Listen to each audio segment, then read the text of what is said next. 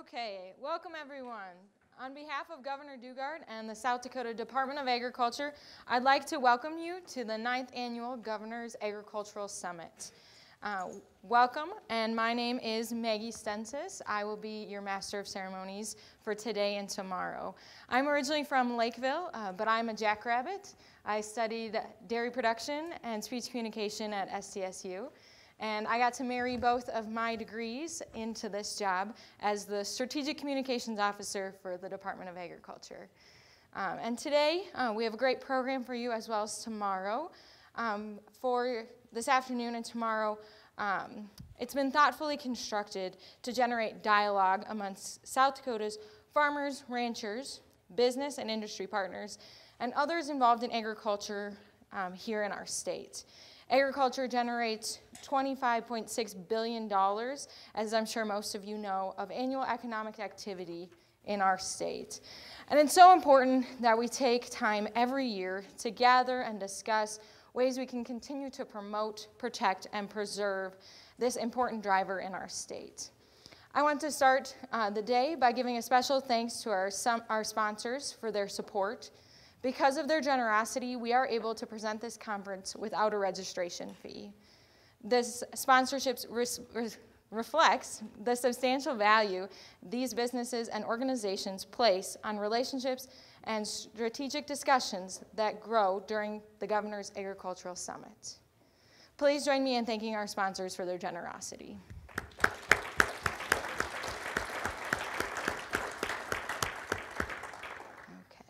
And as we begin this afternoon, I want to remind everyone that is joining us online to tweet questions if you have them for our panel. Our Twitter is at um, SD Agriculture, and please use the hashtag SD Summit. Um, we'll have the questions, when we have a question time during the panel, we'll be able to ask them uh, right here, and you'll be able to interact. So now we're going to jump right in and hear from our interim secretary, Dr. Dustin Oedekoven. Um, Dr. Oedekoven has served as our interim secretary since July 1st, so he's been in it quite a while. um, he leads our state in more than one capacity. He is also our state veterinarian, um, and as well as the executive director for the South Dakota Animal Industry Board. Uh, he grew up in rural Meade County, where his passion for agriculture was cultivated through 4-H and FFA. He graduated from Sturgis Brown High School before attending South Dakota State University for his bachelor's in agricultural science and received a doctorate of veterinary medicine from Iowa State University. Dr. Oedekoven and his wife Jen live in Pierre with their five children. Without further ado, please help me welcome Dr. Oedekoven to the podium.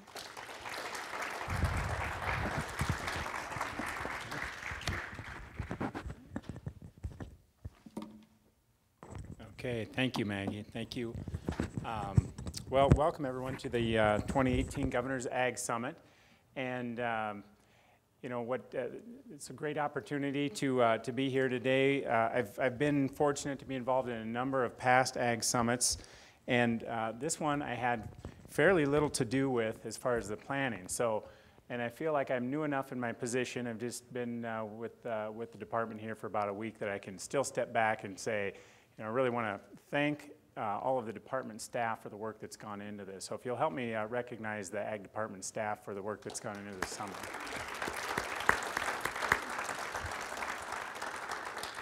Well, we are excited to be here in Rapid City this year. Uh, the summit's bounced around from, from different uh, areas across the state. And uh, as uh, Maggie mentioned, this is pretty close to home for me. I grew up just almost 25 miles straight north as the crow flies. and so it's fun to be back in, uh, in western South Dakota and, and host the summit here.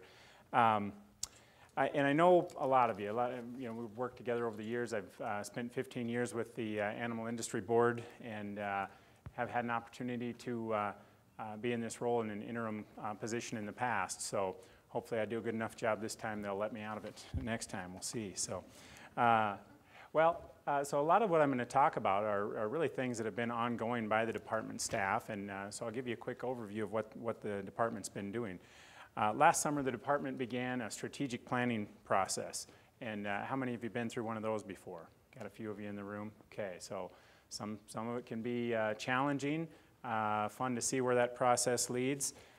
With an organization as diverse as the Department of Ag is, having a strategic plan has helped us in making sure we are all on the right path and are headed in the right direction. Uh, the first part of the process was establishing a vision statement. And the vision statement provides the end goal that everyone is working for uh, so that they can all work together. So the vision statement, as you can see uh, on the screen here, the South Dakota Department of Agriculture is a valued partner committed to serving a thriving, diverse agricultural community in order to enhance the quality of life for all and ensure lasting legacy for future generations. Next, uh, the department established a mission statement. Uh, how many of you put together a mission statement before? It's challenging, okay? Hard to sit down and figure out what is our mission.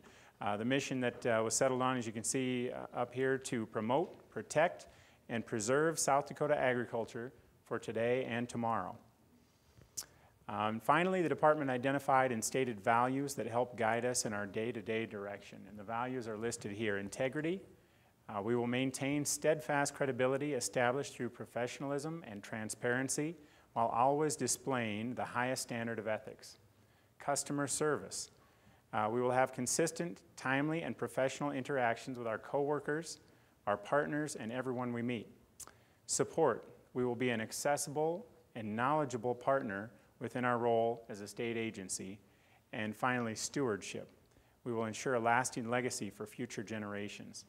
So taken together, this vision, mission, and values have given the department a framework to ensure that we're all working towards the same goal. And as that process unfolds and we continue to work together on, uh, in, on implementing that uh, strategic plan, uh, I look forward to seeing some, uh, some good results for the department. So to give you a quick overview, the department is, is very diverse, as I mentioned. It's uh, comprised of five divisions. We've got Ag Services, Ag Development, Resource Conservation and Forestry, Wildland Fire, and the State Fair, um, or some people call the most fun part division. No, I, actually nobody's tell, called it that, but we think of it as that. So uh, really a fun and uh, diverse group to work with. Uh, there are a lot of things going on on any given day uh, within this department. And then uh, we also have the Office of the Secretary uh, that helps keep things coordinated. So the department also works with a number of boards and commissions, one of which I'm real familiar with, and several others I'm, I'm getting more familiarity with. So I want to take a few minutes to highlight some of the things the department has been working on. So first of all, mediation. Uh, the department, through the Ag Services Division, facilitates mediations on agricultural loans from across the state. Uh, this is a good barometer to show how the ag economy is doing in the state.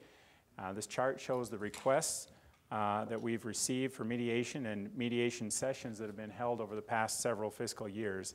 And for the most recent fiscal year, uh, the department received 245 requests for mediation. Uh, not a not a record we you know look forward to, but a, but a record year for for services provided by that division uh, 95 mediation sessions were held. And as the numbers indicate, this past year was not an easy one for livestock and uh, uh, crop producers. And so if you or someone you know uh, needs mediation services or would benefit from those services, feel free to visit with our Ag Services staff uh, for more information about that uh, or visit our, our website at sdda.sd.gov.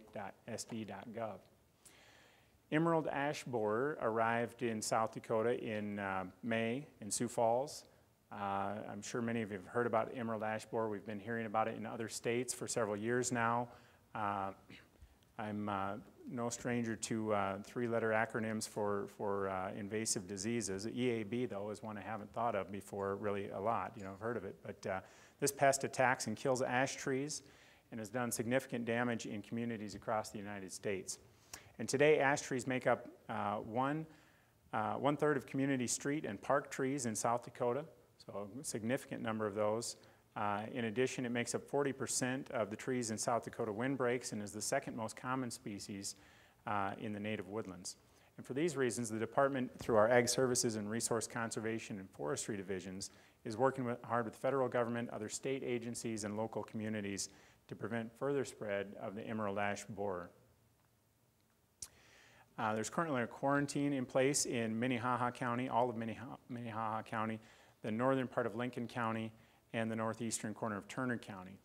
Uh, this quarantine uh, prevents uh, movement of certain materials that uh, are you know, possible as sources of spread of the emerald ash borer outside of the quarantine area. One of the most common ways that that uh, pest is spread is through the movement of firewood.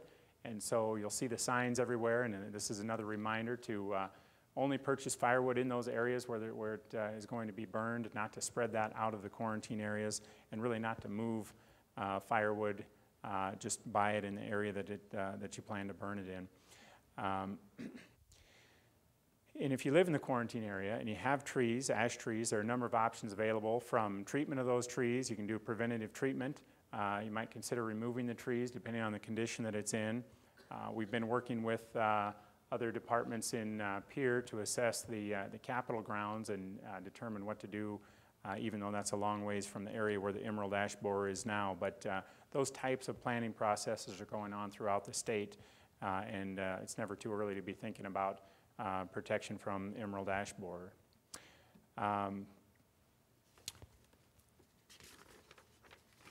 And if you're interested in finding more information about emerald ash borer, you can go to, uh, there's a uh, website, emerald ash borer in South Dakota.sd.gov.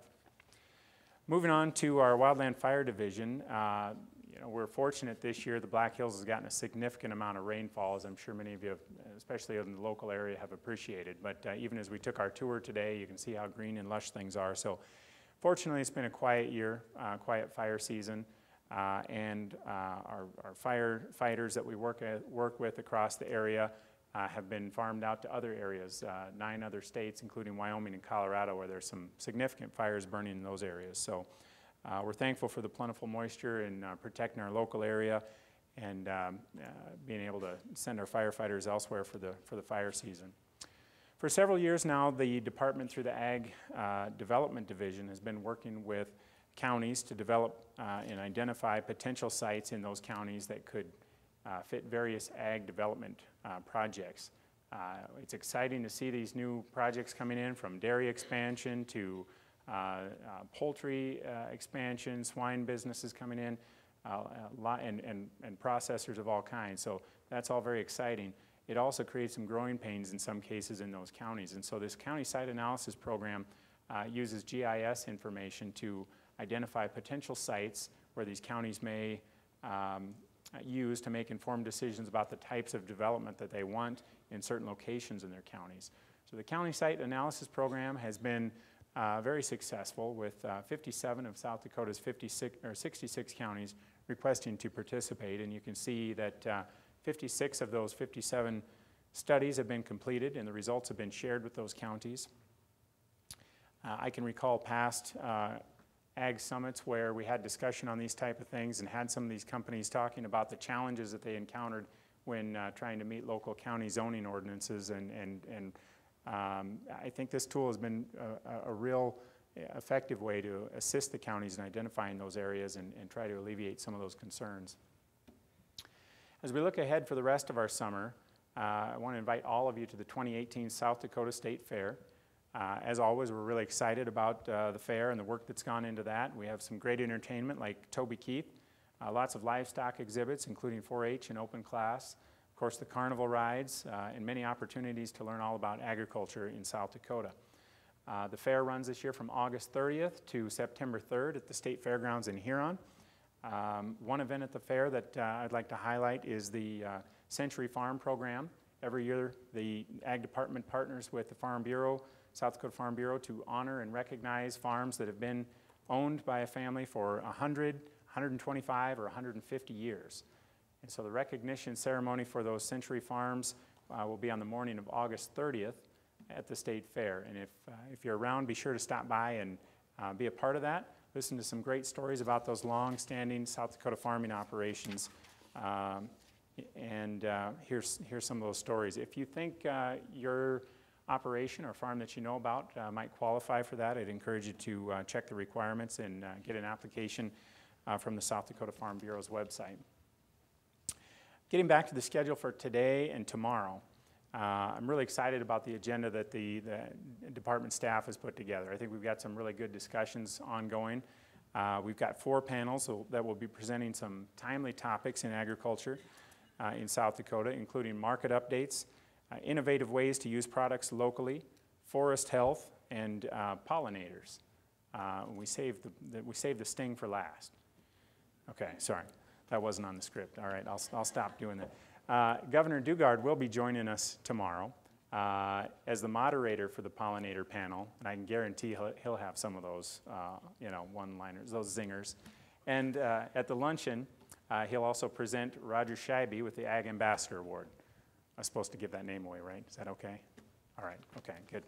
Uh, and of course, none of this would be possible without our generous sponsors. Uh, and so we've got them listed up here, and I'll just read them briefly. And uh, uh the Farm Credit Services of America, South Dakota Ethanol, Sanford Health, First Dakota National Bank, BNSF, Bank West, and Monsanto. So please uh, help me once again in thanking our sponsors.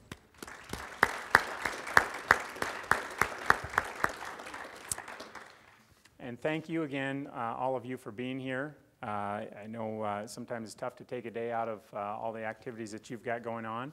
I appreciate you helping to make the Governor's Ag Summit a success. Thank you.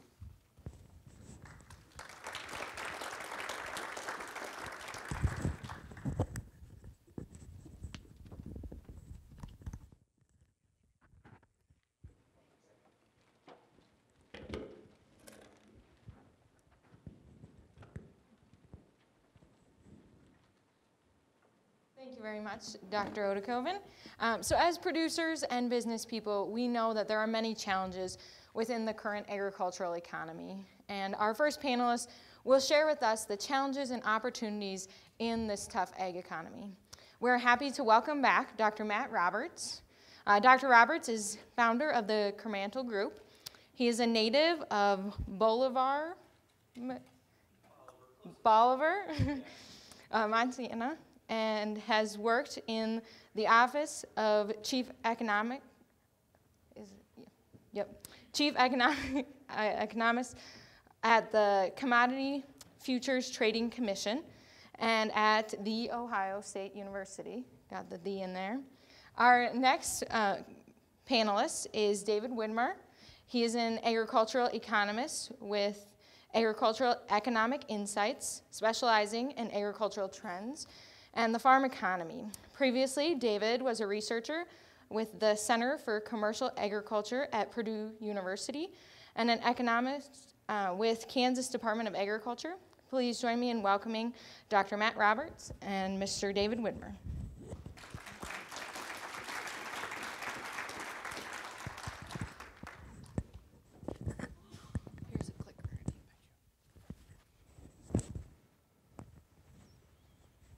Good afternoon. Thank you for having me out. It's a great pleasure to be here with you all today. I actually grew up not too far from Dr. Roberts in eastern Kansas. Uh, I think this is the first time we actually met, so we traveled all the way to South Dakota to meet.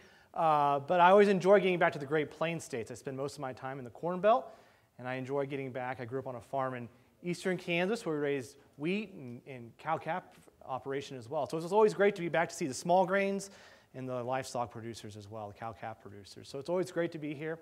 Uh, happy to join you today. We're going to talk a little bit about my observations of the agricultural economy, what I see as challenges, and what I see as a few opportunities to keep in mind as uh, 2018 sort of wraps up and we start thinking and planning for 2019 and beyond. Uh, most of this uh, information and, and, and, graphs that I'll be sharing today uh, can be found on our, my website, uh, ageconomist.com. I, we co-launched this in 2014 with Dr. Brent Gloy. He uh, was on faculty at Purdue University at that point. Now he manages his family farm in western Nebraska. He has irrigated corn and soybeans out there. So we have a weekly blog post. Uh, I invite you to visit the website, check it out, follow us. They always say a picture's worth a thousand words, and in our case, a graph is always worth a little more than a thousand words. So uh, all the graphs that you'll see in here with the watermark have a, a post that really dives into some of the trends and observations that, that we see. So before we start to dive in, we want to step back and talk about what happens in the agricultural economy, what happens uh, over time. We sort of see these uh, cycles, maybe for the lack of a better word. Uh, we see these eras of, of booms and eras of slowdowns and moderation. So this is an image that we put together, and I'll show you the graph that in, underlies it and supports it here next. But we, we've identified five or six periods that are important to keep in, in mind for agriculture. The first period are uh, stable periods. These stable periods have pretty constant or consistent net farm income. Uh, commodity prices are pretty stable. Farmland values and cash rental rates are fairly stable. Everything trends higher, but at a, a pretty slow rate from year to year. Uh, commodity prices are also pretty stable. And then we get into these boom eras. And what happens with the boom eras, there's two ways that you get higher commodity prices in uh, economics or in agriculture. And go back to our supply and demand uh, curves. So we have what we call supply responses. And supply responses is whenever there's some sort of hiccup maybe in the weather. And the way you have higher prices from a supply response is you have drought. And those usually cure themselves in about a year because we get some response and we plant more acres of wheat or more acres of corn and soybeans the next year, and we solve that low ending stock situation. The prices moderate. But if you really want to have a boom period, you got to have from the other line on that supply demand curve a demand shock. So typically we have demand shocks, and that gives us a prolonged period of strong net farm income, strong commodity prices. And then during this period, we have a second response. Not only do we have a boom in commodity prices, and a boom in net farm incomes. They last over several years, but we expand the size of the factory. The agricultural factory in the US and around the world gets bigger. And how do we do that? We add more acres. We always talk about farmland being a, new, a good investment because they're not making any more farmland. Well, that might be true from a physical rocks being converted into soil and, and, and uh, organic matter standpoint, but we actually, over time, uh, have seen a couple errors when we bring in large acreages of production, maybe in, here in the US or in South America or in the former Soviet Union. And we'll talk about that as well. And then we have this supply response that's too great for the demand that we've built up. Commodity prices get pressured. We see a drop in commodity prices. This is this um, margin squeeze. Profits get really tight. This is not the fun period. This is the period that we've been in for the last few years. And what we see is fixed costs come down, variable costs come down, there is some stabilization in the commodity markets, a bit of a recovery, and then we return back to what we call the stable period. Okay? So let's go back a little bit. What was the last stable period that we had in agriculture? Most of the 90s and early 2000s. Corn was about $2 a bushel across the US. If it got a little worse, LDP would kick in. Anybody remember LDP, uh, the loan deficiency program? Uh, farmland values trended higher, but it was pretty slow. There wasn't a whole lot of uncertainty from year to year in the crop budget. You can pretty much take last year's performance and, and replicate it. And we had a couple supply shocks in there, right? 96 was a, a big year as well. 2002 uh, and 2000, well, 2004, we had a really big crop, so really low uh, commodity prices. But that was really the last boom period. Those last quite a bit of time. Uh, excuse me, the stable period. And then that boom, that boom that we had uh, was what we saw from ethanol and uh, exports to China, global exports as well. We'll talk a little bit about that more. And right now we're in this margin squeezed era. We see net farm incomes, cash rental rates adjusting lower, and then we'll talk about what it might take to get back to that recovery period. So here's the uh, chart. This is real or inflation adjusted net farm income going back to the 1930s. This is actually back to 1929. And there's a couple lines in here that run horizontal. The first one is an orange. That's that long run average. So that's almost 100 years of data there. It's the average of that period. The top black line is one standard deviation above. That's a statistical measure above uh, the mean, and one, st- one standard deviation below. Anytime we get above the black line, it's a good time in agriculture. Anytime we get below the black line, it's a really tough time in agriculture. So there, we see here there's kind of three big booms going back to the 1920s. The first one was post World War II, whenever we had strong uh, economic growth here in the US and Europe was rebuilding from uh, the many years of war on, uh, their farmlands and in their countries. The second one was there in the 1970s, and the, of course, uh, it led to the farm financial crisis of the 1980s. And now here we are following up on that previous boom. The current boom actually was not as uh, strong as what we saw in the 1970s when we adjust for inflation in terms of the peak. But what really helped this time around uh, was it was a long, a long duration. Again, there were sort of three elements to this recent boom that are really important to keep in mind. Ethanol got a lot of the headlines. Uh, it probably got two thirds or, or 80% of the, the publicity. The second one we had is we had pretty crummy yields uh, in 2011, 12, and 13. Of course, 12 was a big drought, but we were below trend for several years there. We've now kind of gone to the other way, right? We've had a lot of years of really strong crops. And the third piece of this is actually uh, strong exports to China for soybeans and just a big, uh, strong, robust trade economy for agricultural products. Uh, and that really led to this sort of sustained, longer uh, strength here in this farm economy. Of course, net farm income now is almost 50%. The, the, bad, the bad news here, the headline that they usually write is the farm economy, net farm income is about 50% lower. Again, this is across the whole U.S. What we saw just a few years ago when it peaked in 2014, uh, but we're still hanging in above that black line. Uh, that black line, again, is that really bad period. So we haven't dipped below what we saw back in 2002. Uh, it was a pretty bleak year in 2002. And then, of course, in the 1980s, we had several years below that uh, lower black line. So I mentioned to this earlier about this boom, and there's a supply response. And here's the graph uh, that supports that. And it's global acres. And we've seen two big periods in history where global acres, and this is primarily 13 crops that are harvested around the entire world. Uh, and, and this two big periods here that we've seen expansion. The first expansion happened in the 1970s. Of course, we saw these correlate with these big peaks in net farm income. So in the 1970s, early 1970s, the Russians had a really tough drought. It was a prolonged drought, and they were running out of wheat. And the world really didn't know. This was the Soviet Union at this, at this point, high of the Cold War. And the world didn't know how bad the situation was. And the Soviets came to the US, and Henry Kissinger was part of this, and they negotiated a deal where the Russians could come in and buy some wheat. Anybody remember this story? And over about a two or three month period, the Russians bought in one year what we thought they were going to buy in three years. And the commodity markets panicked, and net farm income spiked, and we were looking for a supply response because the story and the headlines were the Russians stole all the grain. So we thought we had it all figured out, but they bought way more than anyone had expected. The, we had no idea how bad uh, the crisis was there in Russia. So, a famous ag economist who was then Secretary of Ag, he was a dean at Purdue University, he was actually the first person uh, to get their PhD in ag economics from Purdue University. His name was Earl Butz.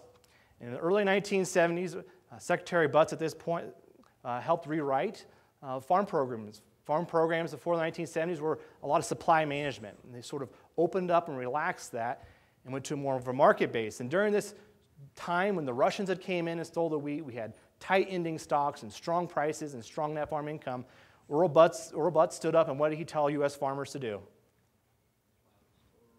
Plants fence row to fence row. And this is where we saw this sort of first big jump in the U.S. from 1.8 billion acres all the way up to 2.1 billion acres, a 300 million acre increase in global acres harvested here in the U.S. and across the globe. So this was sort of a U.S. Uh, effort here, and it also magnified across the entire globe. And here's the important part about these acres.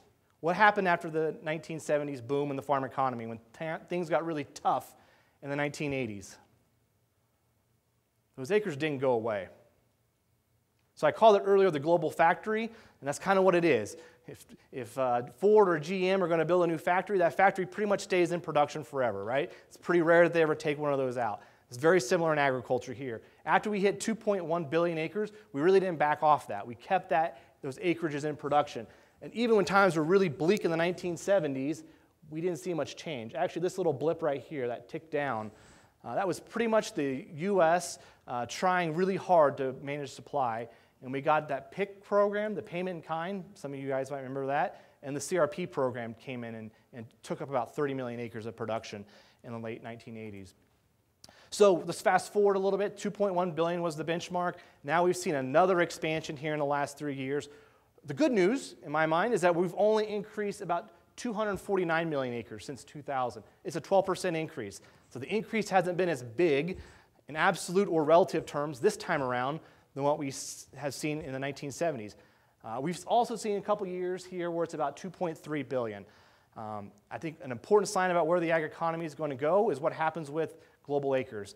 And I think there's a lot of good news here that that hasn't expanded, that expansion seems to have slowed down. Maybe we're going to settle in here at 2.3. South America, of course, was a big source of this increase 78 million acres. How many people, this is from 2000 to today, how many remember when 78 million was a big soybean crop to be planted in the US, or even a big corn crop here in the US? So South America added the equivalent of about a US, entire US soybean crop to their uh, acreage base. Sub Saharan Africa, 60 million. The former Soviet Union coming in with a lot of wheat here in the last few years. Eastern Asia, and of course, uh, we don't ever see much of a decline in this over time. Okay, so we're going to shift gears here and talk about these demand. Uh, this is, Dr. Roberts and I had dinner last night, and we were talking about uh, soybeans in China, and he pointed out this great study that we think about, you know, the factors for that commodity prices to get strong, and a lot of the credit gets put on corn and ethanol. And he's pointed out a study that actually shows the acreage impact from this demand surge, this, this boom in the farm economy, uh, about twice as many acres, uh, the, the, response, twice as much of that went to soybean acreage than it went to corn acres. So uh, soybeans might actually be, or actually are, on an acreage basis, sort of a bigger swinger or a bigger driver in this farm economy boom than uh, ethanol and corn on a, on a basis. So this chart has three lines on it. The first two are consumption and production. So you can see here in yellow is the production of soybeans in China. This has stayed pretty flat over time. In 2004 and 2005, though, the gray bar shows consumption. And before that, production and consumption were pretty much locked together. In China in, the, in the 2004, 2005, let that separate. And how did they take, make that happen? Imports. They said they could rely, they decided they could rely on the global economies to help them. And so you can see that they have just really outpaced uh, production. And today, the green line shows this. They account for about six out of 10 soybeans the, globe, the global economy's import. So 60% of global imports of soybeans go to China. This has been a really remarkable story in agriculture. It's going to be a really important part of the story of where we go in the next few years. Because, uh, of course, what's going on now with tariffs and soybeans in China, this is sort of back in the fold here. Uh, and this is really an important part of that story. Of course, here in the US, we saw a big uptick in soybean exports. This is uh, the metric tons. We used to uh, about 30 million metric tons, and now we're up to almost 60 million metric tons. So almost doubling of our soybean exports in the last decade and a half or so. And in 2016 and 2017, about 50% of our production uh, went for exports. So, uh, thinking about those booms and where we are in the farm economy today, I can show you a lot of graphs about debt repayment capacity or uh, debt service ratios, but there are three key metrics I think are important to keep in mind. It's net farm income, uh, debt, and asset values. And for any business that you have, you want your assets to go up, your income to go up, and your debt to go down over time. But unfortunately, we've had a bad slide here in the farm economy. We've seen net farm income trend lower. It almost got to, uh, um, this is on an index basis, it's almost double what it was uh, in the early 2000s, but now it's actually below the 2000s level. So it's getting a little bit tough. And we've actually seen uh, total assets plateau and total farm debts peak. And the good news is that total farm debts are starting to come down slowly. So that's actually, total debts are starting to come down a little bit. That is some relief for producers. So unfortunately, the big trend over the last few years haven't been positive for farm economics or farm finances. Uh, but we hope uh, there's been some improvements maybe in the last year. That's the good news, but we'll see what happens over the next year and a half or so. One of the uh, points I think it's always important to make is that impacts vary across the US. So we look at uh, this chart in particular. Anything that's green has had more than a 100% increase in net farm income during the boom. So that's doubling. And you can see that South Dakota here is at 116%. So during the boom years, so 2000 to 2013, compared to the early 2000s, net farm income here in South Dakota more than doubled. Uh, Nebraska and Kansas were a little bit stronger, but big strength here in that farm income in the Corn Belt and the Northern Great Plains. But not every state saw that. So all the reds here, are there in the South, is actually a decrease in that farm income. A lot of this thinking about cattle and drought here in Texas in the past, and then a lot of uh, livestock here as well, and feeding of livestock here as well in the southeast. So, just as we saw differences in the boom across different states. Not everybody feels the same thing. We have the same thing at the county level within a state, and then the same thing across neighbors in the same community. So, spent the first half of this talk talking about the big level trends at the national, but it varies at the individual uh, specific level. This is a change in farmland values uh, between, or uh, yes, farmland values during this boom period. And you can actually see uh, South Dakota, I can't actually see it really, right closely, but it's more than a 300% increase in farmland values here in South Dakota. So from early 2000s to the boom, South Dakota actually saw the largest increase of any state in the U.S. So this was really sort of ground zero for this strong farm economy boom. I'm sure a lot of you noticed that if you're going to farmland auctions or cash rental rate, uh, renegotiating cash rental rates here in the last few years. Really strong response. Now, here's a slowdown here. Here are a few select states that have seen farmland values drop from the highs to here where we saw in 2007, and South Dakota coming in at 10% off from its highs. Again, Kansas and Nebraska are both above that at 12 and 13%. But again, it reinforces this idea that we talk about these national trends. Unfortunately, uh, debts in the farm economy and, and uh, bills and income aren't paid at the national level. Uh, they're paid at the farm level. And when we start looking at state and county differences, it's important to keep that in mind. So, uh, where are we at sort of here in the ag economy? We're definitely uh, in this margin squeeze period and starting to maybe hit this recovery period.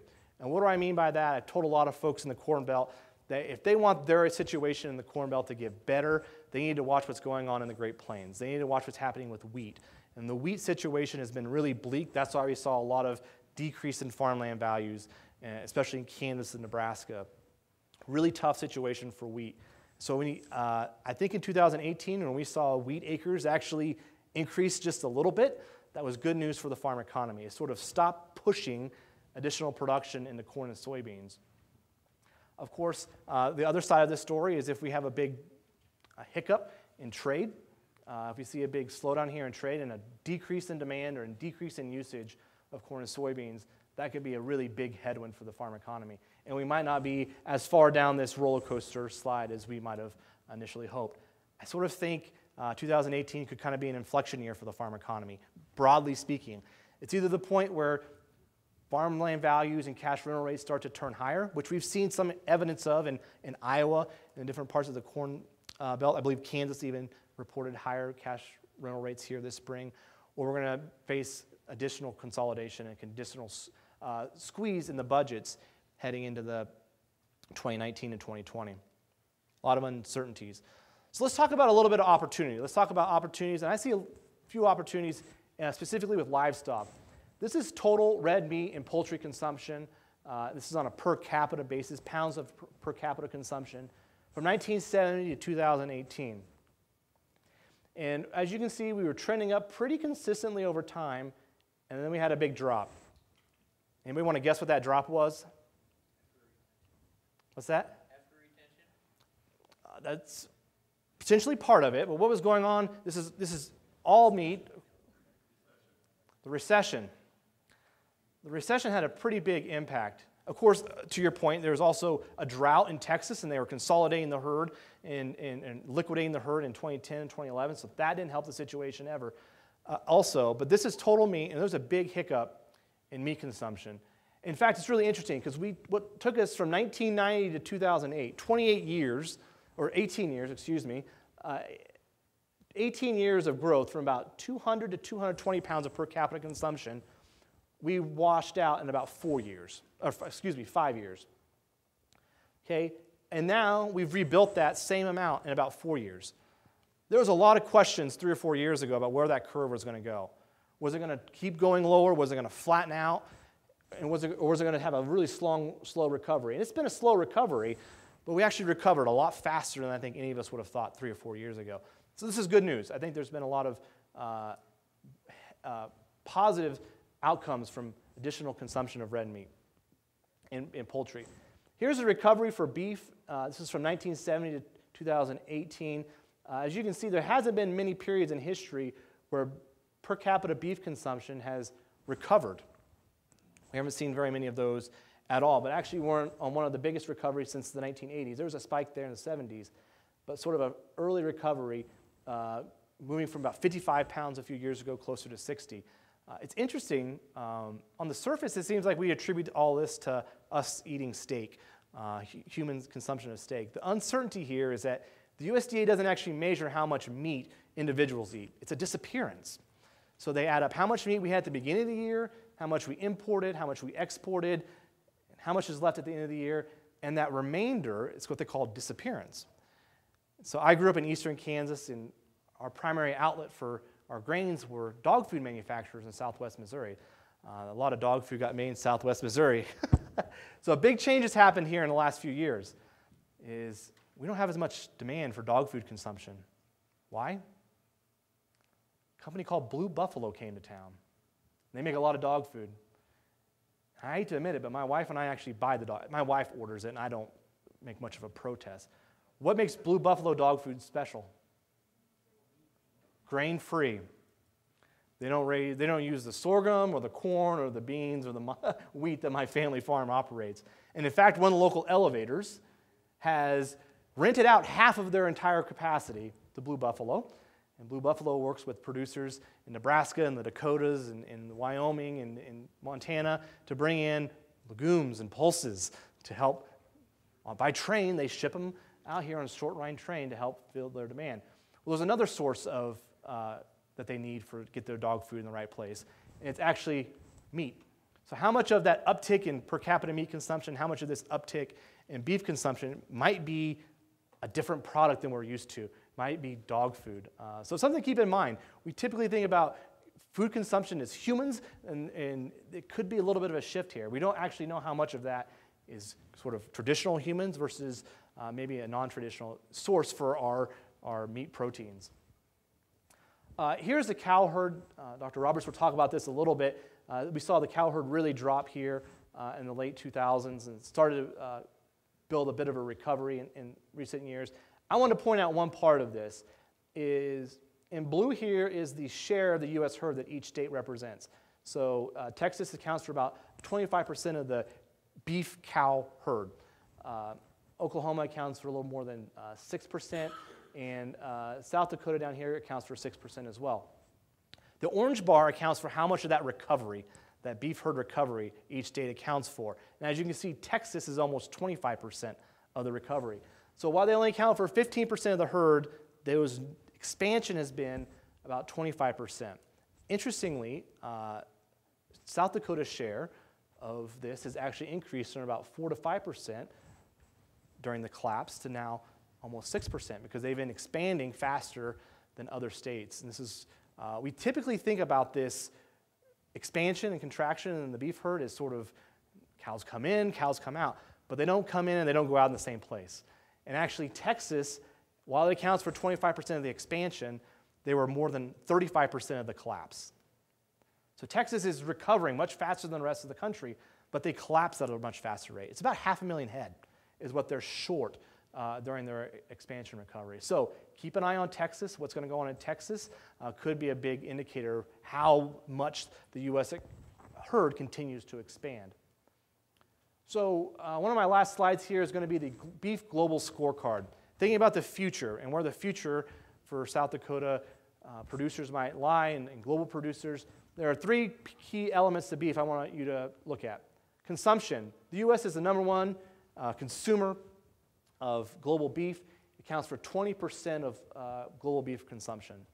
It's quite impressive when you think about 300 million Americans and uh, 7 billion people.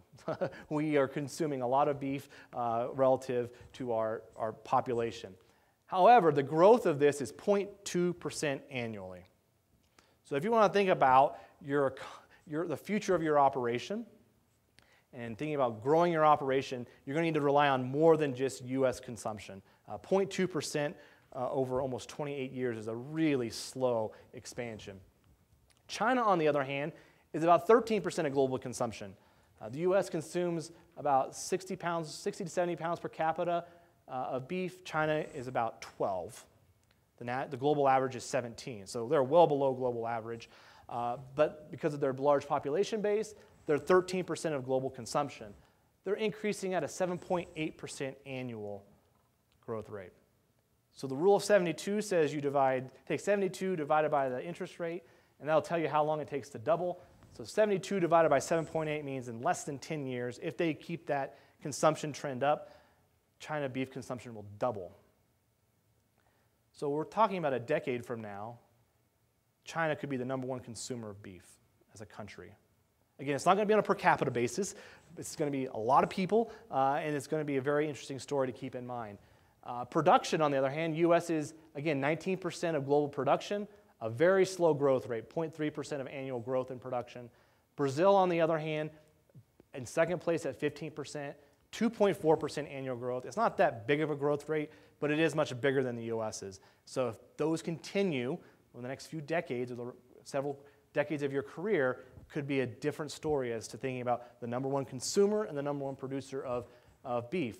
China imports, uh, they're the number two importer right now, and they account for 11% of global imports. This is a graph that I want to leave you with to think about. This is very similar to the soybean graph if you think about it. The gray bar and the yellow bar are almost completely together. And then about 2014 and 2015, what happened? Consumption outpaced production in China. And this green bar, which was non existent through the 90s, started to pick up. And then by 2015, it got to about 9%. And in 2017, it's above 10%. The question we have to ask ourselves is where is China today about beef consumption? Is 2018 the equivalent of 2007 for soybeans? Uh, there could be a lot of opportunity thinking about strong, documented strong periods of growth in their consumption, thinking about they've sort of plateaued here for production. They're turning to the markets for imports. Big story, of course, for last year was whenever we had our first U.S. meat or U.S. beef headed back to China, and U.S. beef is on the shelf in China. Uh, and, and, it's going to be an important part of that story. A lot of this is talking about trade and trade relationships. I think a lot of it came down to economics and supply and demand, and they needed it. They needed U.S. beef to help fill their needs. So there could be a lot of opportunity for, for beef. Of course, uh, given the current trade situation, we have to really wonder what's uh, in store. I'm going to leave you with a couple unknowns uh, to think about. Uh, trade. How long does the tr- current trade situation continue? How severe are any implications or fallout that might happen?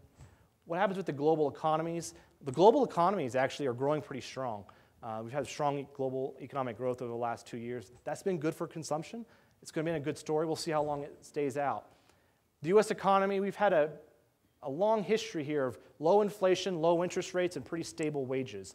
Uh, with the, in light of the new tariffs and tariffs on different products, how long will that continue? That's a big uncertainty moving forward.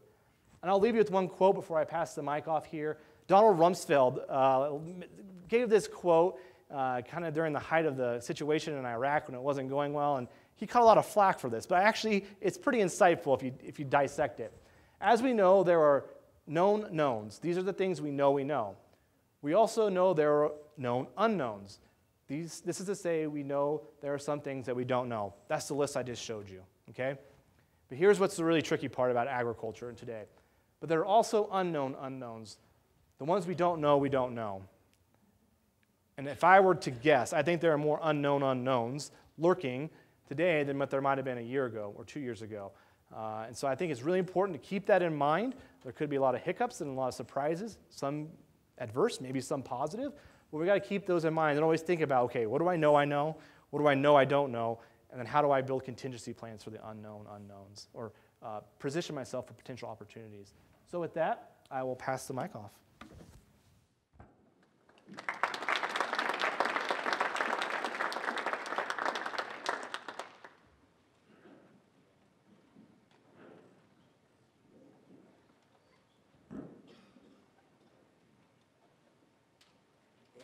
For that, David. Um, yeah, it, it, it, was great to finally meet David. I've certainly read uh, about him. We um, or read his his work and and um, his company's work on on a number of occasions.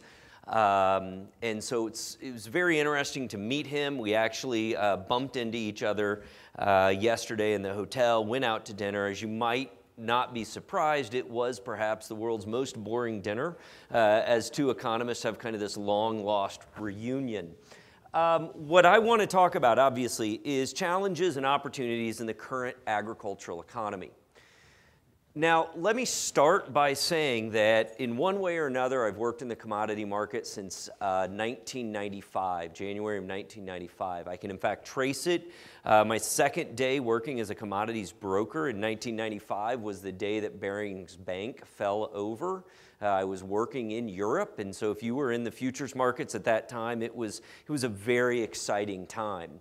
Uh, it was a very memorable time to, to be working in it. And in that amount of time, uh, and so in those, those 23 years, there's never been a time in which I feel less equipped uh, to say something intelligent about what's going on in the agriculture markets than now. All right? So I, I, that's my caveat to start out. Uh, now, as a, as a professional economist, that doesn't mean I'm not going to try. I mean, that's also my job, right? Um, but uh, that is, I think that right now, as, as David sort of summed up with that Rumsfeld quote, there, whether we're talking the known knowns, the known unknowns, or the unknown unknowns, there's a tremendous amount of uncertainty here.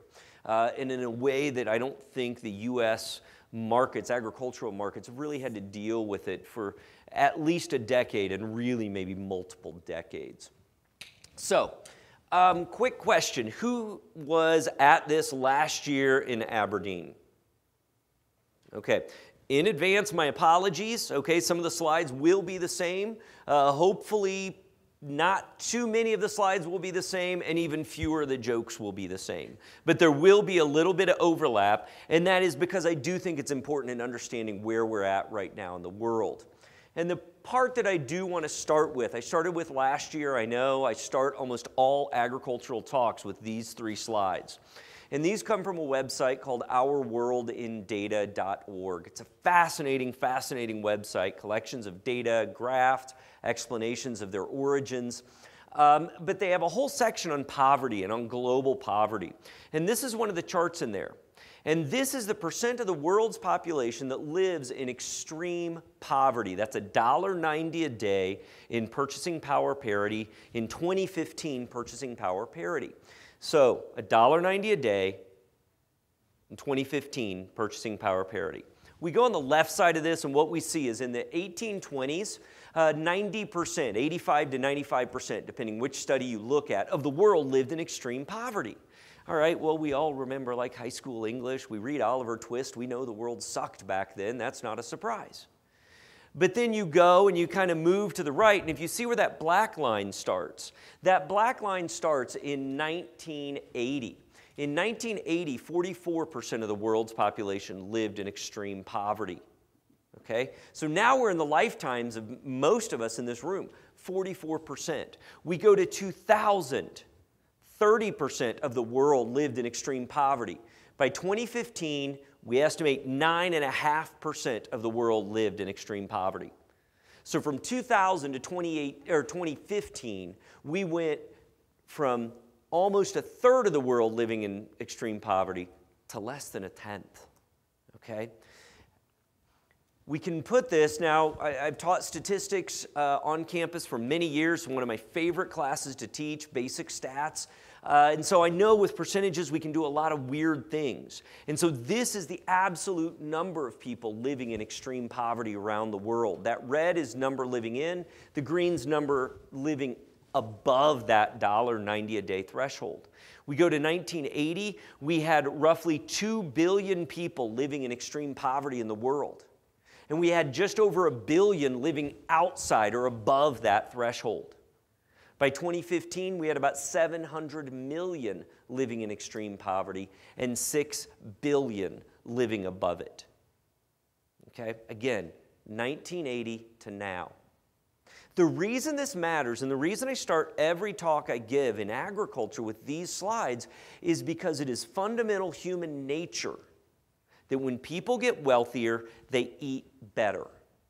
This is not an American thing. This is not a Western sieve thing. This is human nature. When you get a raise, when you get a promotion, when you finally sell those, those $13 beans or that four and a quarter corn, what do you do? You go out for a nice dinner, right? You celebrate with food. You have a steak, right? When the prodigal son returned, what was the first thing his father did? Killed the fatted calf. Right? What are some of our fond memories? Fourth of July or Christmas or Thanksgiving or sitting down with those meals. We celebrate with food. That's human. And so as we get well the globe, the reason that's important to understand for agriculture is when we get wealthier, we eat better. And I would argue almost every single good and bad thing that we face right now in agriculture starts with this chart, starts with wealth. If we're talking about this commodity supercycle we just went through, it's all driven by wealth, whether that's Chinese import demand, uh, whether that's biofuel demand. Where did biofuel demand come from? All right? Came from trying to support farmers. We have the money to do it. It came from air quality interests, from environmental perceptions. Water quality regulations, a lot of environmental regulations. Where do those come from? They come from wealth. Newsflash go to Venezuela, environmental, environmental um, enforcement much weaker. North Korea, EPA, not a very strong agency, right? When you're starving, water quality, air quality matters a lot less. We see it in this country as well as every country. That's humanity, that's normal. All right? So that's why I like to start with these charts. We live in this world of exploding wealth. And that means people are eating better. It's not just more, it's better. People down here, they're adding People here, they're adding meat. People here, they're adding meat with names like filet mignon. People up here, they're adding organic tofu. I don't understand it, but that's the world we live in, right? They're adding or food with a story, and we'll come back to that. But this is really important to understand. And so when we turn to China and we, we China's kind of the poster child of this. It's far from the only country uh, that's seen this big reduction in poverty, but it, it is the poster child, and it's had the biggest effect. This is meat consumption in China uh, from 1975 to the present. And so you see uh, that, that kind of teal color. Uh, is swine consumption, increase in swine consumption over that. It's a it's an explosion. And that is not just imports. Yes, China is the world's largest importer of pork, they're the world's largest producer of pork. They raise more hogs than the rest of the world put together. They're the largest hog operations in the world. In fact, there was an article in The Economist earlier this year. They are now building six and seven hog barns, multi story. It has a picture of elevators. They move hogs up and down. Okay? Uh, it's amazing. Now, it does make permitting easier when you have no viable environmental movement. That same hog barn is up on top of a giant hill. Why? Because the waste can run down into the creeks.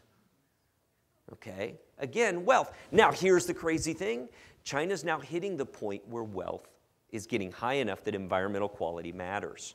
Air quality matters, water quality matters. These are the things they can do now. If they keep growing like they are now in 10 years, they're not going to be able to do that. We've seen that in Japan. We saw it in Korea in the 60s and 70s. We've seen it in Taiwan in the 80s. All right? Again, it's driven by wealth. But so, tons of animals there, not just pork, but also beef, also poultry. But if you're going to raise that many animals, you got to feed them. Uh, this is uh, oilseed consumption uh, in China, how that's changed from 1990 to the present. And this ugly, and I'm sorry these colors are a little ugly. Uh, you know, when you're at the university for 15 years, you try to be inclusive. This is a, a colorblind, friendly color palette. Uh, I I'm not colorblind, so I don't know if it helps, but I know when I look at them, I kind of wish I was. So my apologies. Um, but so this kind of ugly color right here, this is soybean growth over that time period, over that 18 year time period. You see massive growth. And it's not just, we started hearing about it in kind of uh, that 2002, 2003 era. Uh, that's when we started hearing about Chinese soybean growth. But in reality, it started in the early 90s. The growth was happening for a decade before we really realized it. But just like David talked about in the commodity cycle, uh, we were in a period of vast oversupply, and so that there was still rapid growth there, but it was still small compared to global supply. And so it took it a decade to really suck up that supply and get to a point where it started to affect global prices.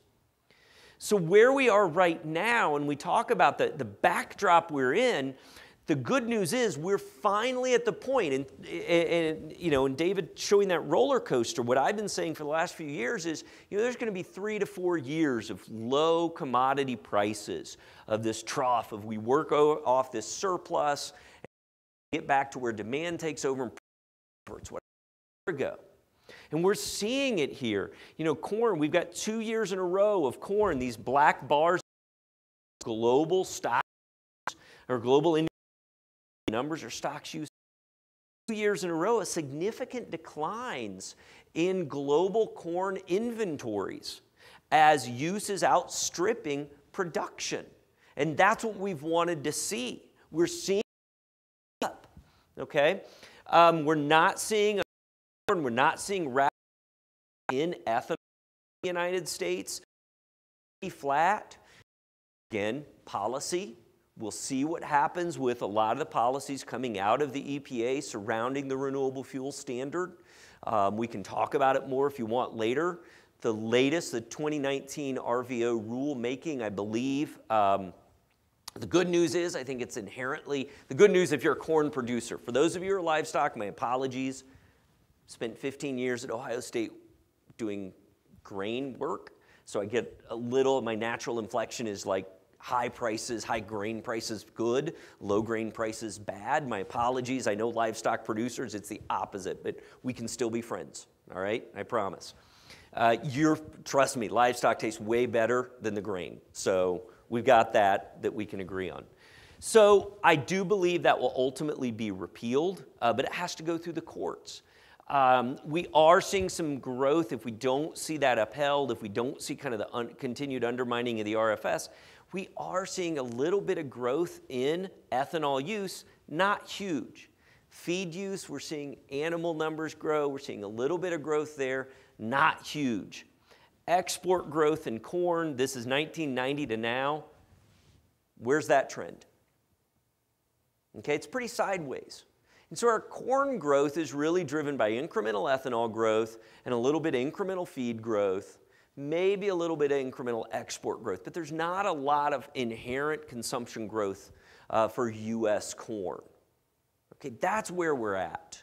And I, am not saying it's good, I'm not saying it's bad, it just, it is where we're at uh, in corn.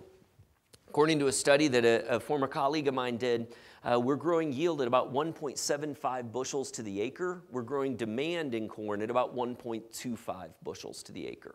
So an extra half a bushel per year per acre uh, is, is coming into the market. Now, in reality, a half a bushel a year in a given year doesn't matter much. Mother Nature matters a heck of a lot more than that. And after years of, of increased acres, of high yields, uh, and that oversupply, we finally started to see that even come down a little bit. Two years of declines in inventories, um, finally pulling corn stocks back to an area that would be moving, which I think if we go back uh, a mere two months, eight weeks, 10 weeks ago, we'd be looking at, looking at prices saying, all right, 2018 new crop prices, that's shaping up. We're going to finally probably be able to build some balance sheets on the grain side. And now that's gone away. The fundamentals are there. We'll come back to trade, but the fundamentals are still there to build balance sheets uh, on the corn side. Um, the long term issue no export growth in 30 years. Uh, ethanol is giving us a little bit of growth. Uh, it's much slower. That yield, like I said, 1.75, where are we going to put that corn? Particularly when demand growth is, is, consist, is considerably slower. Okay? I'm going to come back and, and try and answer that a little bit, and then, then we'll talk about the good news. All right? Uh, soybeans. Soybeans, uh, this is where we've seen the explosive growth uh, in demand globally. Um, protein demand, particularly driven by poultry and swine demand in developing countries, uh, those have much more protein centric meal or much more protein centric rations. That's why we hear so much more about oilseed demand than we do corn and wheat demand. We hear about China growing and we hear about all these all these other countries growing. They're more efficient. Birds, hogs, more efficient converters of plant protein into animal protein. So they have a meal protein heavy ration or a, a vegetable protein heavy ration. And so we've seen this demand go up, but once again, two years in a row, down here at the bottom, those black bars declining two years in a row. We're finally starting to see that tighten up a little bit and hopefully move back towards a period of, of sort of more normal profits in agriculture. What's the driver? Exports. Driver of US soybean, we know this, we've heard it, particularly in the last eight weeks, is our exports, and those are primarily to China. Now, with everything that we've seen over the last four weeks, what does it mean for these? And that's where I say, I don't know. Okay? And, and I'll be real frank here. I spent a number of years of my career thinking I could outsmart the markets, okay, that I could predict the markets, and I'm here talking to you. So figure out how that went, right? Why? Because predicting prices is really hard. And you know what's harder than that? Is predicting politicians. And the problem is that right now, is that bad, like Mojo, to say at the governor's ag summit? I don't mean it to be offensive. I say it as simply as an economist. But right now, this is driven, what we have is driven by politics and not simple economics. And that makes it very difficult to talk about what we're going to see as we move through the remainder of this marketing year into the next marketing year. And so when we talk about this and Chinese soybean imports, you know, this is really where the demand growth has been globally. It's not only China. Again, they're the poster child. It's Indonesia. Brazilian domestic demand has grown really fast. Uh, there's been a lot of demand growth globally for that. But with the trade spat that we have seen unfold uh, in the past eight weeks since late May when it appeared there'd been a breakthrough between China and um, the, the Trump administration. Uh, we've seen that really unravel. We've seen beans come off about $2. Uh, we've seen corn come off about 70 cents. Why? It's some mixture of, of weather and it's some mixture of trade. Which is which? It really depends who you're asking and frankly where they sit on the political spectrum is my experience. All right? But it's it, honestly it's some of both. Okay? We have some trade worries here. We've had good weather through most of the of the country right now. Um, some observations. Export demand on soy was used to be the one bright spot. Um, what david said the study that uh, again a former colleague of mine did um, he estimated that soybean, Chinese soybean import demand had two and a half times the impact that US ethanol demand did in, in the commodity super cycle. The Chinese import demand was two and a half times greater than, um, than American ethanol demand for driving global crop prices. And afterwards, you want to talk, I'm happy to point you to it or talk you through it. It's a really simple uh, set of numbers to understand. Uh, so this was a huge driver. Are these price declines we're seeing, are they trade or yield? We're going to find out. Okay, we're going to find out as we move through this year. We see yield. I mean, soybeans are so far from made. Even corn is so far from made. Uh, we do see the market clearly pricing in all the bad news. And it's a weird thing to happen in July.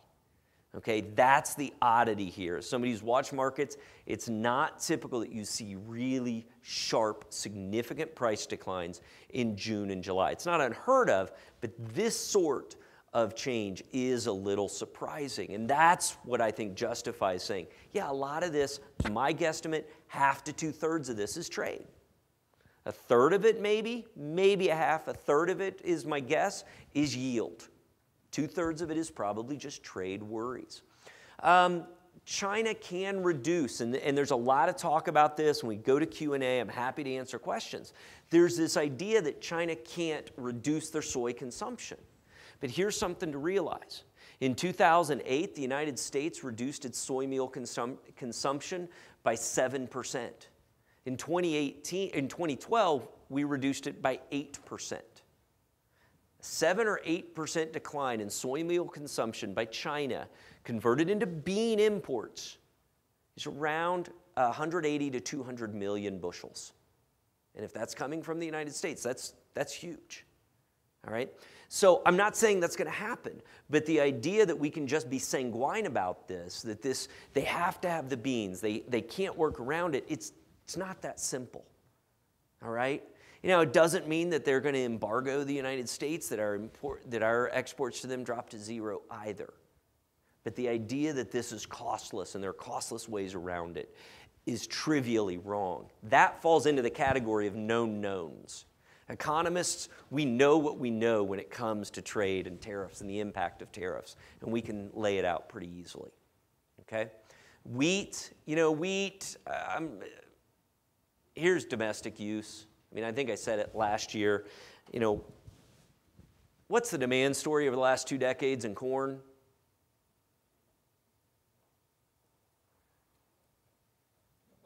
Ethanol, thank you. I taught economics at Ohio State 15 years. I can withstand an awkward pause after a question longer than anybody in this room, I assure you, right? What's the demand story in soybeans? China, right? What's the demand story in wheat?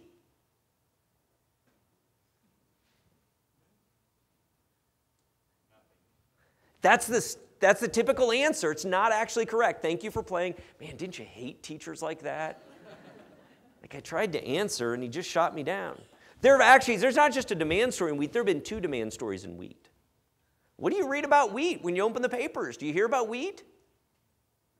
If you open the New York Times or Washington Post or like online or, Wall Street Journal, what, do you, what are we reading about? The foodies. Gluten. Apparently, gluten like kills us early or causes baldness or something really bad, right? That's the first one. What's the second one? low carb diets. Atkins, right? Scientists tell us if we, one group of scientists tell us if we just eat more bacon and less bread, we'll all lose weight. I can at least live with those scientists, right? But so we've had two demand stories in wheat over the past three decades. The problem is they've both been negative. Wheat's really been on the short end of the demand story. Okay, and I'm not, not taking sides in any of those. I'm simply saying, and we can see it really clearly when you look at price and quantity data in wheat. It has not had the benefit. And so we look at domestic use completely flat. And that includes feed use. Okay? And in fact, feed use has been growing over this time because human use, human food consumption in the United States has been declining in wheat. Exports have been declining. Why? Because we do a pretty good job of producing wheat and most of the biggest importers of wheat are very price sensitive. And they're happy to take it out of the Black Sea. Okay, and we're, we're harder to, to compete there.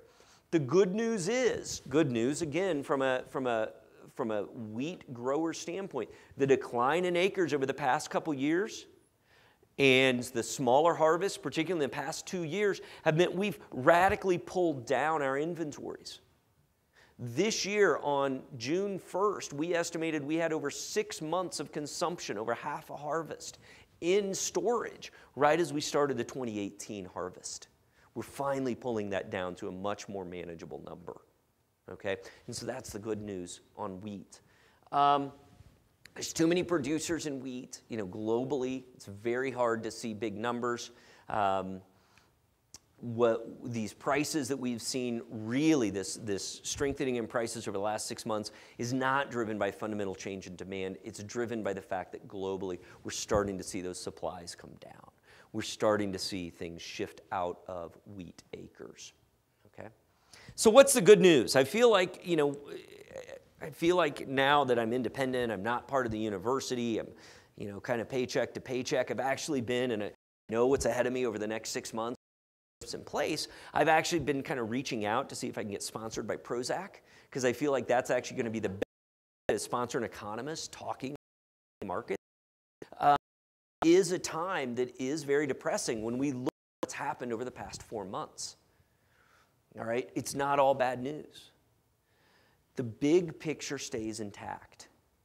The big picture is one in that, and this is why I encourage you go look at our world in data. What it's driven is data.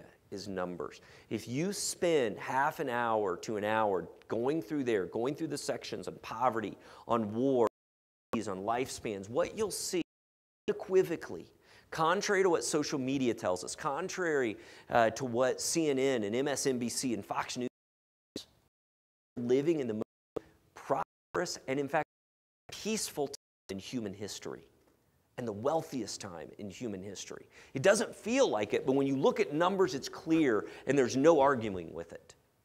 All right? And so, as in agriculture, that's the biggest story, and that's the good news. Globally, three richest countries uh, in the world. So basically, take out Western Europe, take out the United States, Canada, and Australia.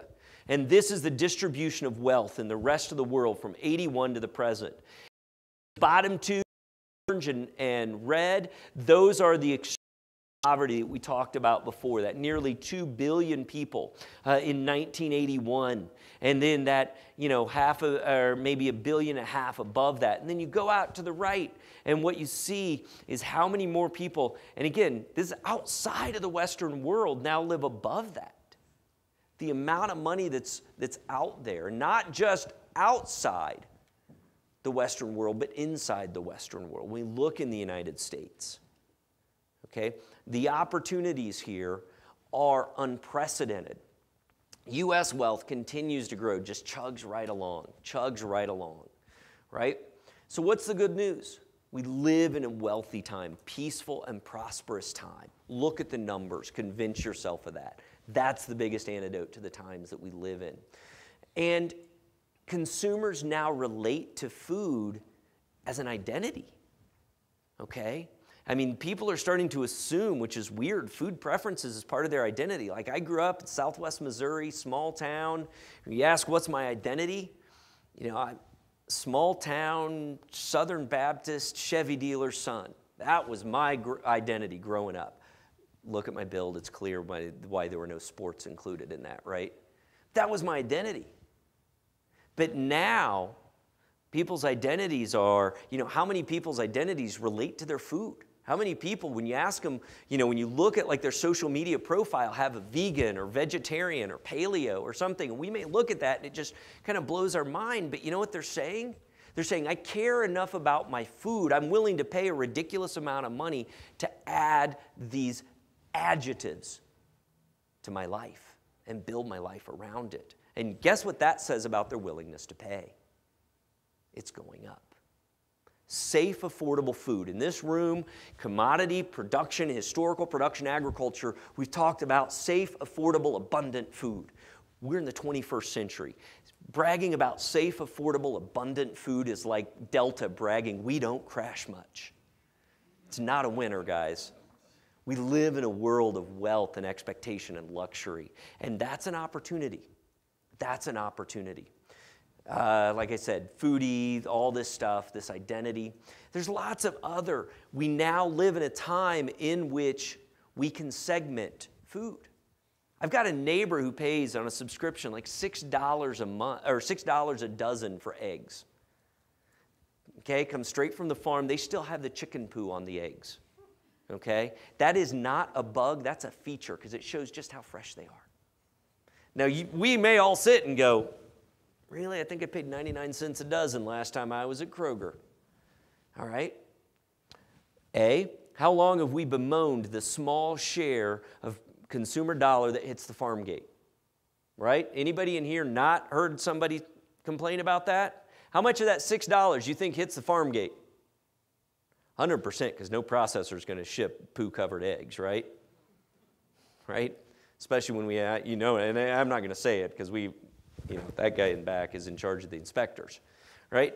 But this gives us these opportunities to segment out markets, to take basically food, what we've talked about as commodity food for generations, for centuries, for millennia, and start segmenting it out.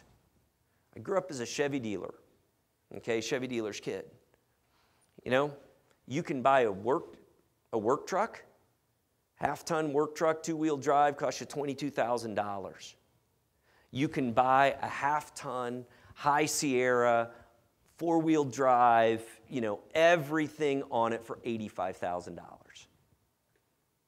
Do we mock the person who's buying that $85,000 half ton? All right, we do a little bit, but not the ones buying the LTZs, right, that are 65,000. Why do we have that? We have it so different consumers can consume basically the same product at different price points. We live in an era in agriculture where this is the good news because we now have not only the ability to do it, but we have the pricing. So let me just hit the last, that's the good news. and that I'm finished. The economists are done, so you can get to the important stuff. Of course you will.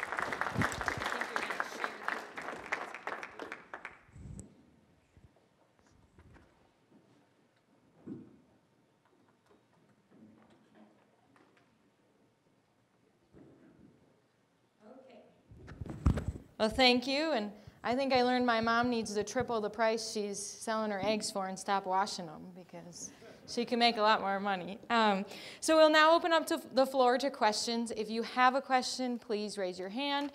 Um, we do have Terry is going to be running around with the mic back there. Um, so if you have a question, raise it. We'll also accept questions from Twitter. So please tweet at us at SD Agriculture using the hashtag SD Summit. So, does anybody have a question? Oh, we, we got the mic. Sorry, got to wait for it. How much of the reduction in soy meal is perhaps the increase in uh, DDGs? Is there any data for that? You mean in those years that I pointed out, or overall? Overall, um, that's a that's kind of a, a it, it's a slippery number to get our hands on, and the reason is because DDGs has evolved, uh, particularly with the extraction of corn oil in the last five six years. Um, I would tend to to roughly guesstimate it started out at about half and is probably reduced to maybe a third as that's been extracted, as that soy, as the corn oil's been extracted. Um, but it's it's as you know, it's I mean across species, across different. So the only way we get at those numbers is really to kind of do um, economic models of it, statistical models, and there a third, maybe a half. But it's a really there's a wide band of confidence, and I wish I had a better number than that. Other questions?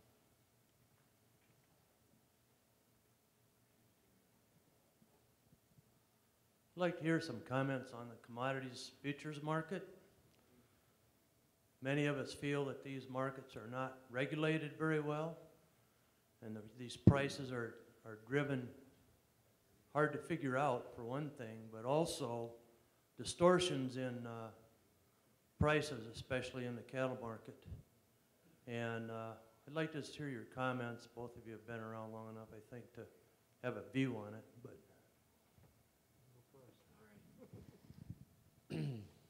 So, boy, I was I had lots of intelligent things to say right until you went to the cattle markets. Um, no, and I, I'm joking. Um, the cattle markets in particular. So, I am one that um, I do not believe that regulation um, is where it needs to be. Unfortunately, the people regulating, and I spent a year at the Commodity Futures Trading Commission in the office of the chief economist.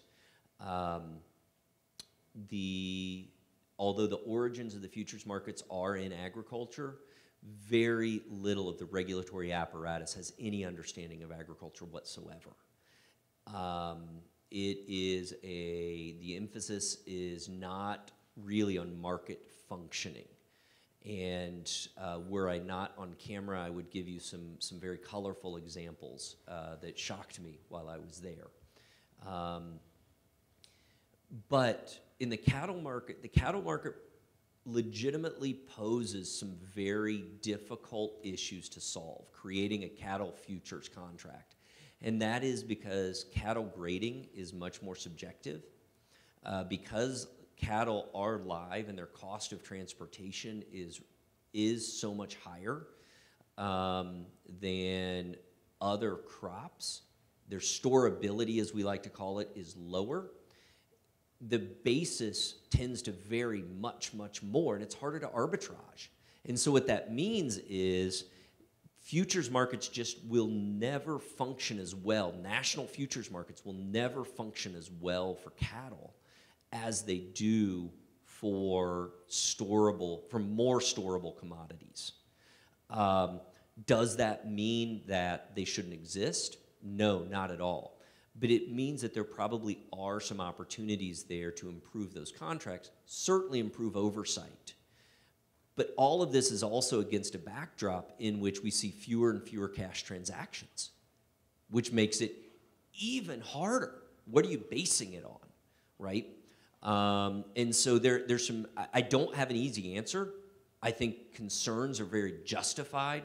I think the difficulty is I've yet to see a comprehensive set of proposals that really vastly improve the market because there are just some fundamental structural pieces of the market that make it a, a difficult market to, to work.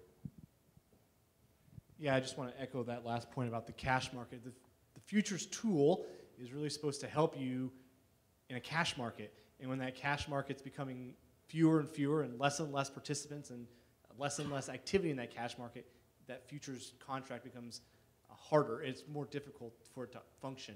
Um, I also like to think that sometimes we, so I, I guess that's the technical elements of that contract and the way it works. But then um, there's just kind of sentiment, and that also moves prices wildly from here to there. I think we also got to think of sometimes people are just their expectations wildly shift. And I think we sort of saw that with grain markets here recently. Is a couple weeks, you know, how much of that decline was trade and how much of it was exports or trade and exports, how much was that weather? But you know, it was a pretty wild swing in two dollars. And did did really the value of the soybeans in, in November drop in two dollars in value in, in 60 days? So a lot of it's also untangling the shortcomings of the, the product and how much of it's sort of the, the ebb and flow of the market.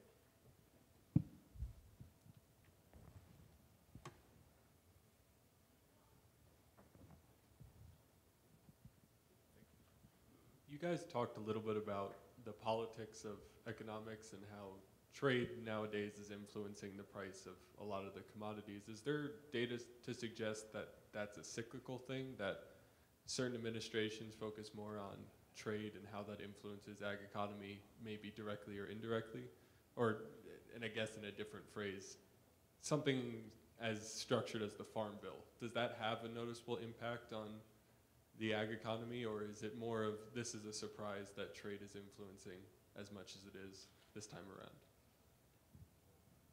I don't know anything that research that looks at administration versus administration over time, but uh, I do know that when you look at what happened in the 1970s, that was another, again, uh, that was a boom period, and the 1980s was a slowdown, and, and trade was a very important part of that expansion when Russia came in and bought a lot of wheat in the early 70s, and then again in the mid 70s again, they came back, and then we saw a drop in exports there in the late 70s and 80s. And there's a lot of things that happened there, right? Uh, President Carter put on the embargo, uh, and that was one element of that. And then there's sort of economic headwinds, so the dollar can weaken or strengthen that makes it more or less attractive to, for ag exports. So there are sort of uh, history doesn't repeat itself, but it sure rhymes. And so when we think about booms and slowdowns in the ag economy, trade typically uh, shows up in, in both columns. Quick clarifying when you're talking about trade, do you mean policy or the actual flows? I meant more of kinda like different. thi- thi- this, if we want to call it a trade war that the Yep. Trump administration has enacted, isn't a typical thing. This hasn't happened in the last few decades. I meant more is is there a history to say that this is kind of a surprise, or are people overreacting to the fact that he's initiating this sort of new trade policy that the U.S. hasn't implemented in the past? Um, I think it's hard to say until we, probably because it hasn't happened in a few decades, and the, and you know we do have to go back to the embargo, to the grain embargo, to see it happen in the agriculture markets. Although there are certainly more recent examples in steel and uh, rubber and and some other industries, um, because it hasn't happened in agriculture, and I think because there is the end game is not clear. Typically, in these previous times when we would see sort of trade issues erupt, there was a clear end game on one side or the other, on the moving party. It was kind of clear here's what I want. You know, clear, concrete set of steps that were communicated. Here's what I want to lift my actions. And we don't really have that. And I think that that uncertainty is really magnifying the price impact here. And, and the fact that it hasn't happened so long, in so long. I mean, as, as crazy as it is, because I'm not rooting for this, if this were something that happened every decade, all right, you kind of go back and everybody's, you know, most everybody's been through it before, like a drought. Okay, we, we understand that. Most of the people have been through a drought. Something like this that happens every 30, 40 years, the world's changed radically in those 30 to 40 years. Trade flows have tra- changed radically in those 30 to 40 years. And the fact that it is our, our in, in the row crop, such a large importer, such a large export destination that is the primary target of this, I think exacerbates these moves. So, having said that, has it happened? Sure, it's happened. We can go back through the last 100 years, 150 years, and find cycles for and against trade repeatedly, the pendulum swinging back and forth. And this won't be the last time that happens.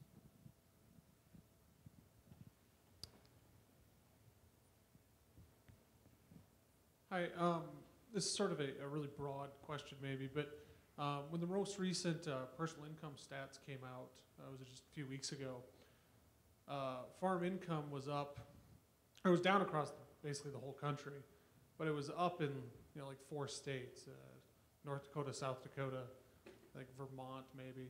Uh, I was just wondering if you guys had any insights on why farm incomes showed up in the recent stats here, but maybe not uh, around other parts of the country. Uh, so you're, if I understand what you're asking about, sort of net farm income changes from 17 versus a projection for 18, uh, and, and being higher in here in North Dakota and South Dakota. I think one of the important parts is thinking about, well, what was 17 like, right? What was the, what was the base period? So last year, I think was really, really tough. Uh, cow calf had some, a pretty tough year in 17, and, and wheat was a really tough year, and, and uh, it was just a pretty tough year. So I think that particular estimate was sort of an improvement, but it's still over a, on, a, on a pretty tough number. It's still down. So I think when we think about it's, and we're starting to see some. I think this kind of gets back to the point that we're both trying to make is that kind of 2018.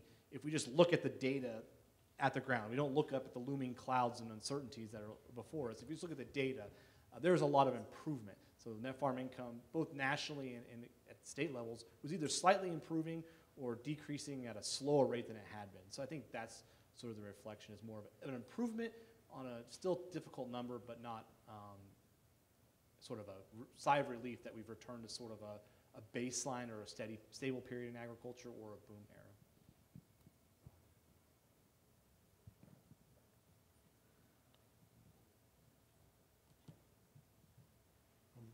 We constantly read in the news about consolidation in the packer industry and large grain industry.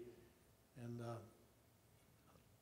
there is a suggestion that this has a negative impact on our prices, yet by the same token, we're in a global market. That, uh, Do you feel that this consolidation is part of that, or is it detrimental to us?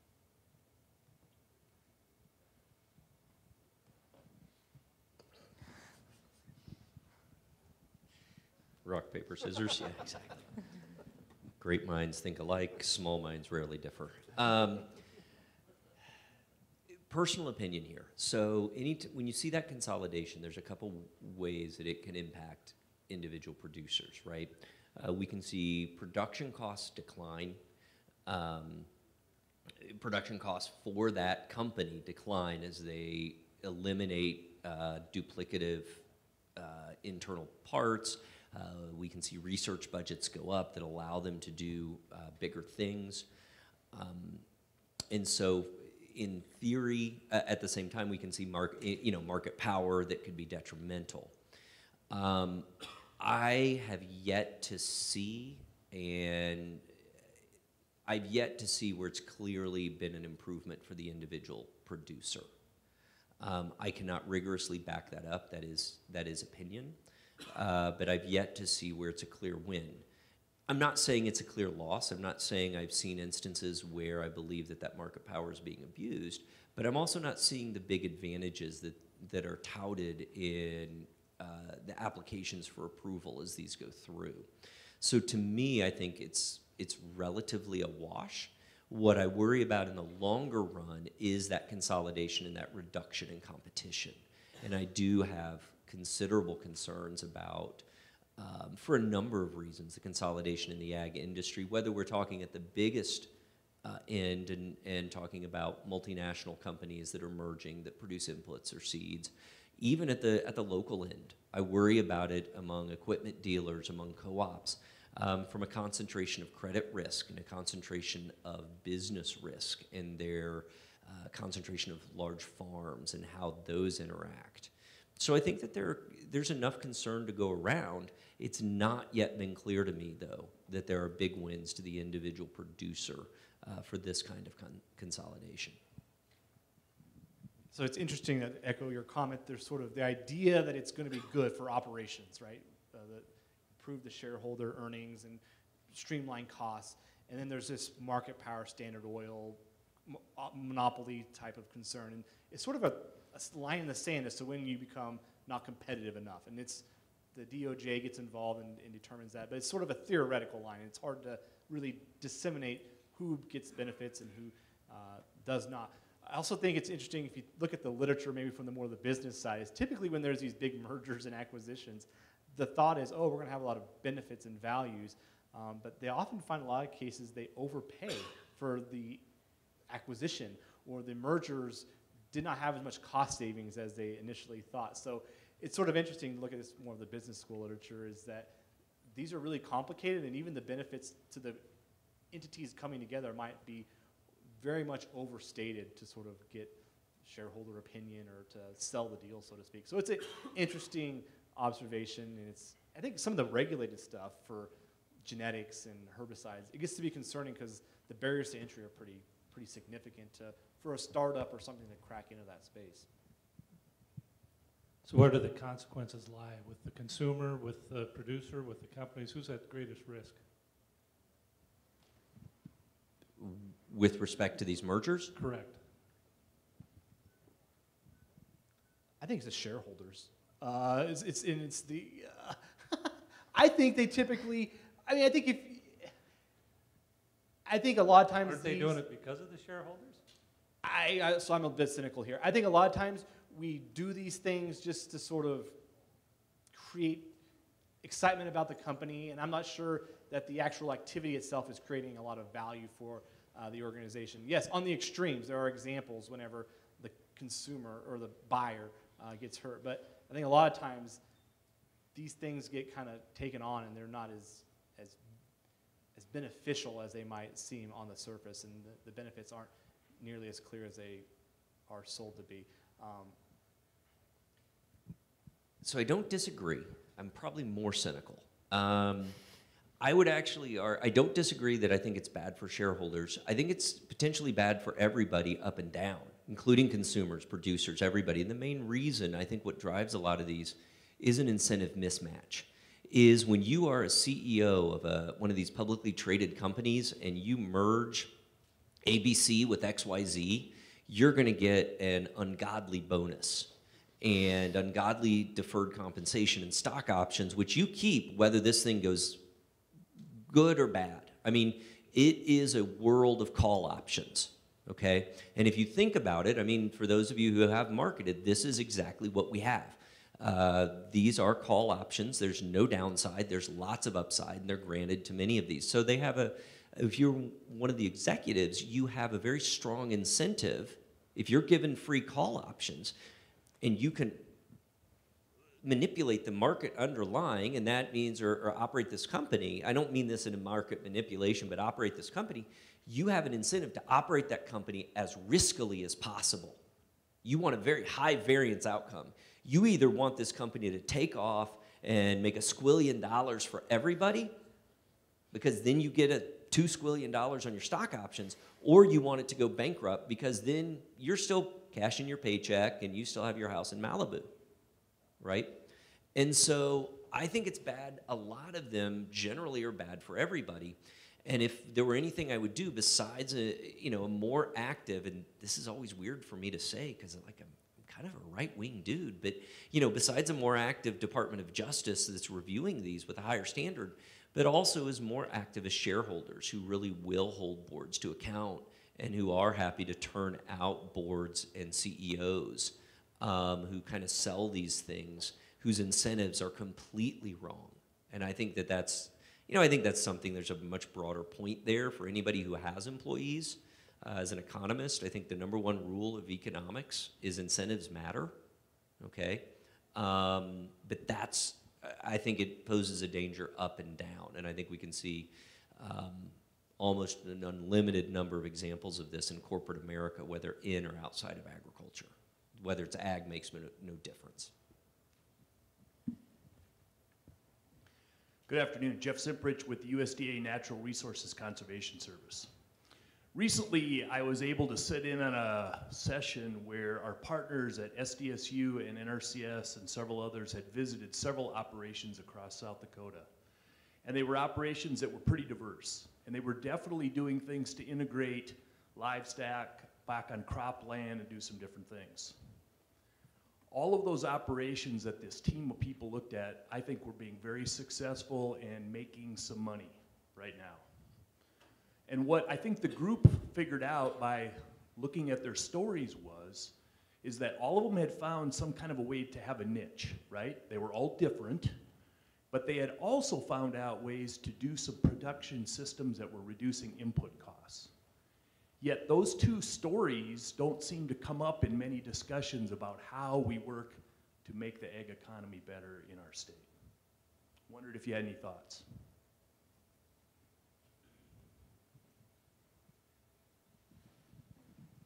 I thank you for that comment. I think it's um, one that I've also seen uh, play out across the Great Plains and Midwest. About everywhere you go, there's um, never a lack of producers who are out there pushing the envelope for either technology or business models or uh, finding the consumer niches to really uh, crack out a profit. Um, and it seems that there's even more of them maybe today. I think technology can actually, we're talking about technology and speeding up consolidation and big businesses getting bigger, uh, but it also allows some of these niches to pop up. And so the idea that you can find uh, a, somebody in Columbus, Ohio who will pay $6 for uh, a dozen of eggs with, with that haven't been cleaned uh, is part of this sort of technological advance. And so I think to the point I hope we are both trying to make is that the future in agriculture is still bright. Uh, this downturn in the farm economy is sort of sector wide. We're looking at the big picture, but there are differences when you drill down to operations. I think operators who have um, thought critically about what their individual skills are and how they can bring that to the table and create uh, profitability for their environment have done really well. Uh, we spend a lot of time, my, my time at Purdue, and, and, even now, we're thinking about uh, is an average producer, because we make these crop budgets for, I mean, there's crop budgets for South Dakota, or livestock budgets, and it's for an average, economic cost and returns for an average producer. And, and has average become less representative as there's sort of this diversification? And, and in, uh, in the Corn Belt, we see sort of these really large operators that do a lot of tillage, and it's very uh, homogenous across their operation versus maybe a, a more moderate scale that does um, no-till and cover crops and other, and maybe they're raising a special uh, seed corn, or maybe they're raising a food-grade corn, or maybe they're marketing to an ethanol plant uh, exclusively to hit their uh, off the times when they need uh, the grain brought in over the weekends or a holiday. And so uh, it's sort of interesting to see how this is playing out. I think um, we'll continue to see some diversification in niches. But it's really not like it was in the 60s when everybody had.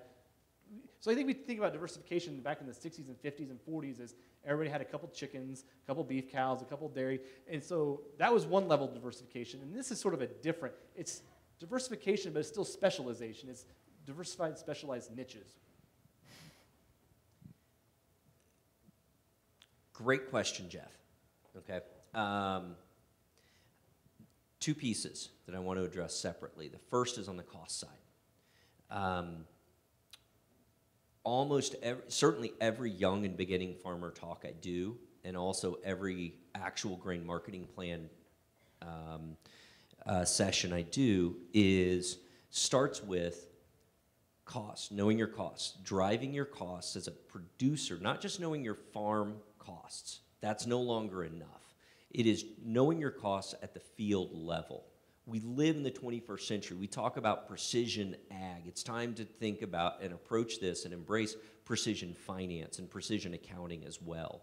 And there's an old maxim in business if you don't measure it, you can't manage it. And so driving it down allows you to manage those costs. And this is a even even if you're getting into these niches, costs still matter. Commodity production, right? And so for me, I am, you know, I preach about it with only a tiny bit of exaggeration. And the tools that are out there are so much easier now to drive that down. And the fundamental reason is once you start measuring costs as a producer, and in reality, this is, this is nearly costless to do.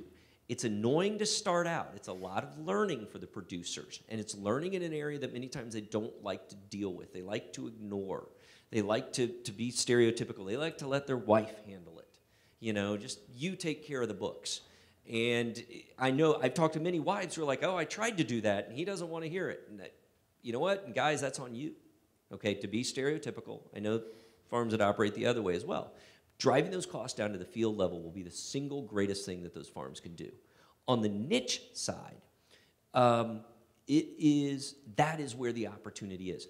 Commodity production agriculture will never go away, but the there's an explosion of niches out there, unprecedented. Why? Because people have money and people want to pay for heritage hogs I think they taste the same. But then again, I've had $200 bottles of wine and I've had $40 bottles of wine, and I think they taste the same too. But if I've got a vineyard and I can sell wine for 200 bucks a bottle, I'm going to do it. All right? Every other industry deals with this, and it's time for us to embrace that. And particularly young and beginning farmers, the ones who have uh, more energy, more hustle, more kind of, they live in this digital age and they have a lot more of that than they do of capital. They have a lot more time than they do capital. Those are the ones who are really need to be exploring this. Where are my opportunities? What can I do? And they need to keep in mind it's still ag. We all need to keep in mind it's still ag. Let's not anybody get too uppity here, okay? This is all, we're all in this together, and we need to stand together or we will fall separately. Um, but it's still ag. And those niches are going to be more and more important. Your commodity producer, maybe it's seed, maybe it's popcorn, um, you know, maybe it is organic. Uh, large scale crop farms, organic. There's a shortage of organic grains in certain parts of this country. All right? But both of those need to happen. And no matter what choice you make, better farm records, driving that down to the field will make you a better, more profitable, more sustainable farm with a greater probability of passing that farm on to your next generation.